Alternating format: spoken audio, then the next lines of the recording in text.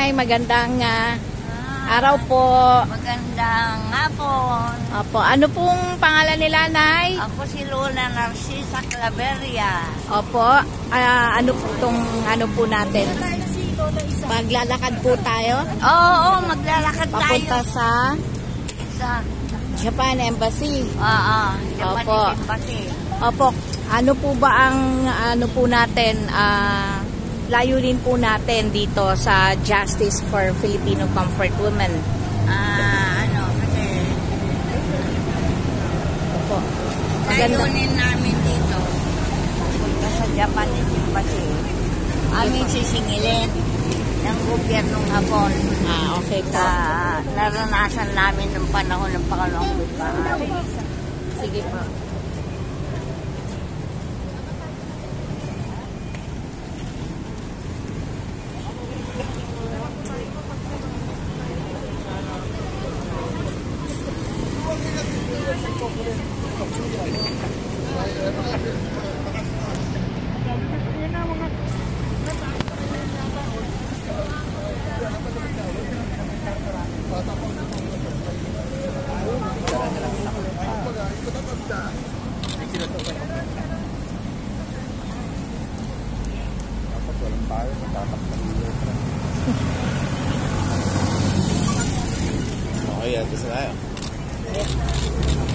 pwedeng ano sa isang yun para nakakaroon.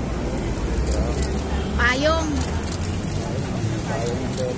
Payong. Payong. Payong. Payong.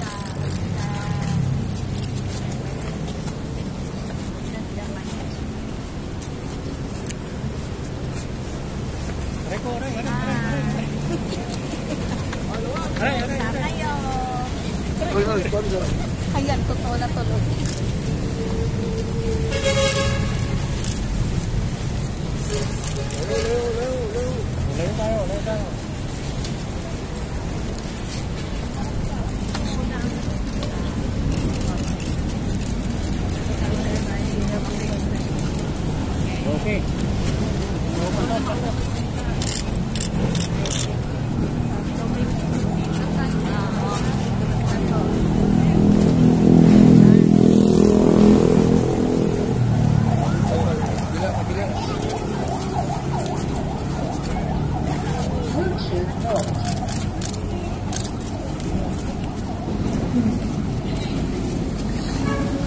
umaga po sa lahat ng nagtatipo ngayon uh, sa ating parat uh, ah, sa Japanese at sa Kumbahana ng uh, Japan upang ipahayag ang ating uh, pag uh, ang ating uh, uh, statement na gusto natin sabihin na dapat na harapin na ng Japanese government ng Japanese government ang kanyang responsibilidad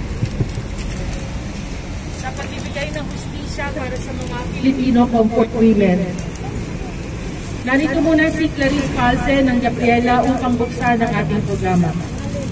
Magandang araw po sa ating lahat. Kasama po natin ang mga lola, mga biktima ng military wars of aggression noong um, Second World War. No? Sa pangunguna po ng Japanese government at ng Japanese military, napakaraming mga kababaihang Pilipino at naging mga kababaihan sa iba't ibang panig ng Asya ang siyang naging biktima ng karakasan, ng pananakop, ng pangbabalasumas no? ng mga um, gobyerno no? ng Japan at ng um, Japanese troops, no? lalong-lalo na sa mga kababaihang Pilipino, kasama po pa natin ngayon sila Lola Isang at mga napakarami pang pong performance sa kasalukuyan.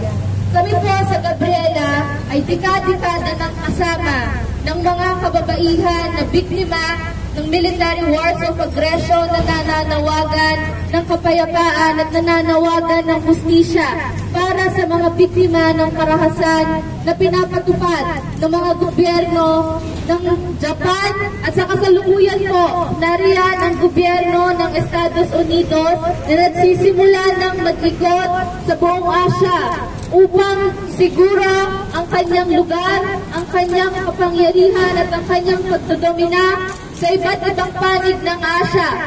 Dahil alam po natin na sa kasalukuyan ay nagtutunggali at naglalabanan ang iba't ibang makapangyarihang bansa dahil napakayaman ng iba't ibang mga bayan na pagkukunan nila ng rekurso. Gayun din, napakaraming mga kababaihan ang nananawagan ng hustisya dahil hanggang sa kasalukuyan po ay hindi pa rin nire-recognize ng gobyerno ng Japan at ng gobyerno maging ng Estados Unidos ang kanilang mga karahasang ginagawa sa mga kababaihan at sa mga bata.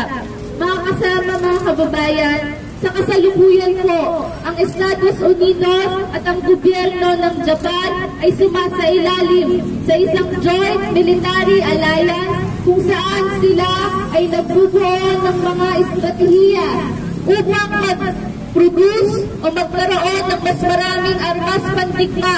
At alam po natin na sa panahon ng digmaan, mga kababaihan at mga bata ang siyang pinaka-apektado at pinaka-pinagsasamantalahan ng mga sundalong kano at naging sundalo ng mga Hapones. Kaya patuloy po tayong mananawagan mula noon, makalipas ang walong dekada, makalipas ang walumpung taon, nandito pa rin po tayo at hindi tayo mapapagod na ipanawagan sa gobyerno ng Japan, gobyerno ng Pilipinas na ibigay po nila ang justisya at katarungan para sa mga kababaihang biktima ng military wars of aggression. Maraming salamat, Clarice Alden and Gabriela. Matipon po tayo ngayon sapagkat mamayang hapon sa UN headquarters ay mag-uulat ang kanyang official human rights report ang ang gobyerno ng Japan. Pero dun sa human rights report na yun ay walang pagbanggit hinggil sa usapin ng mga comfort women, lalong-lalo na ang mga Filipino comfort women. Kaya nananawagan kami sa Japan na i-acknowledge na, kilalanin ang kanilang uh, krimen na nagawa noong World War II at harapin ang issue ng Filipino comfort women. Narito si, si susunod natin pakinggan si Ms. Tessie Angsi, ang lead convener ng Flowers for Lola's campaign. Makikiisa ang Flowers for Lola's campaign sa hinihingi ng ating mga lola na kilalanin una ng gobyerno ng Republika ng Pilipinas ang mga nangyari sa ating women at pangalawa ang gobyerno ng Japan. Nabuo ang Flowers for Lola's campaign ng ikatanggal ng ating gobyerno dahil sa pressure ng Japanese government tinatanggal ang statue natin ng ating comfort women. Hinihiling namin na mauna ang Republika ng Pilipinas at huwag siyang luluhod sa Japan. Ipabalik natin, tumutulungan tayo na maipabalik at kilalanin ang lahat ng mga problema ng ating comfort women. At hingin sa gobyerno ng Japan na sila ay mag-apologize na at kilalanin ang mga nangyari sa ating mga kabaabaihan at sa huli, huwag na sanang mangyari ulit ang ganito mga digmaan ang mga inosenteng bata, matanda at mga baba, kababaihan ang nagiging mga biktima. Maraming salamat.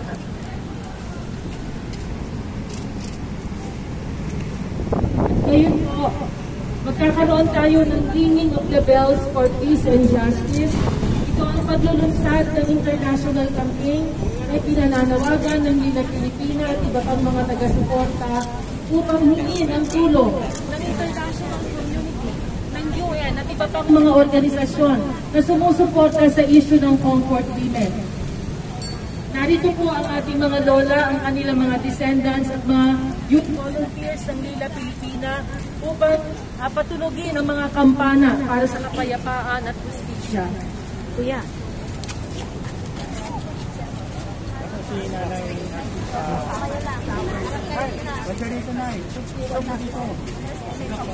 Ate, gusto mo dito, forward ko. Forward pa. Tayo hindi matatakpan din yung ano eh. Tayo. Payong, pakitanggal mo na po. Basa yung ano, masayang yung Rise for peace, fight for justice, Pwede pa hawak kay Lola. yung bell ni Lola. Kay Lola, si Lola. Kasama. Sabay-sabay na natin isigaw. Rise for peace, fight for justice, no to wars of aggression. Rise for peace, fight for justice, no to wars of aggression.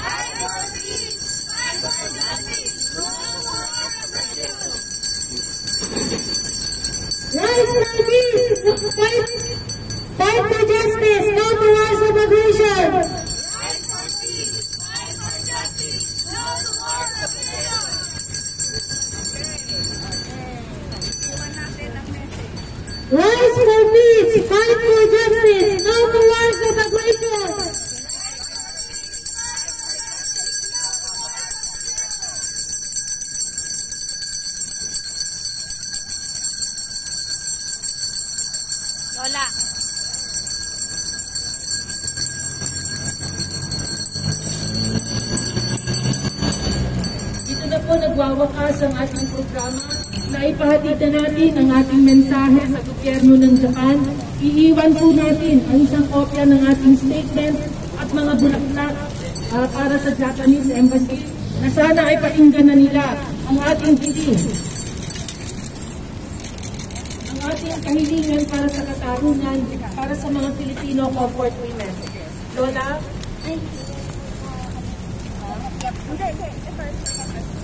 Dahil natin doon. Lalagay natin. Diyan na pala. Lalagay natin sa kanila. Layo, layo, layo, layo, layo, para... Layo, layo. Layo, layo. Layo, layo, layo. Dahan-dahan. Yan. Akyat. Dahan-dahan. Dito sa entrance. Ito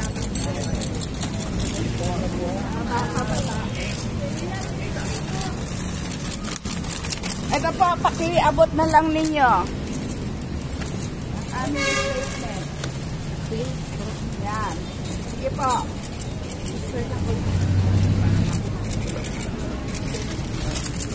Dalawang lola pwede po lumapit. Dalawang lola. Galing natin. Yan. Kamay mo po yan. Hindi si kuya.